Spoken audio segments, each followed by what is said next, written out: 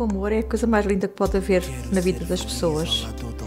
Como vivo eternamente apaixonada, para mim o amor é tudo.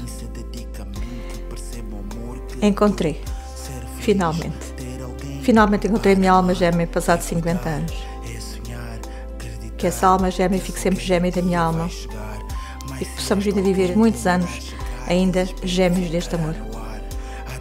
Para que possamos viver os últimos anos da nossa vida, aqueles 50 anos não vivemos. Que sejamos sempre almas gêmeas um do outro. E que o amor nos acompanhe nesta última etapa da nossa vida.